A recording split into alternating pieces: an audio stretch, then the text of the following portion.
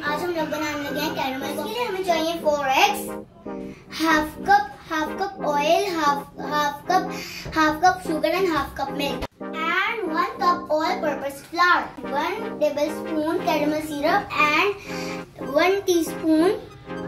baking और flour के अलावा सब कुछ इस बॉल में ऐड कर देंगे।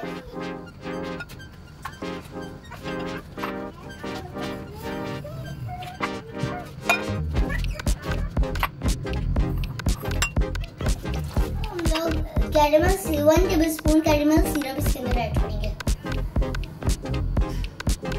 इसको अच्छी तरह five to seven minute mix करेंगे।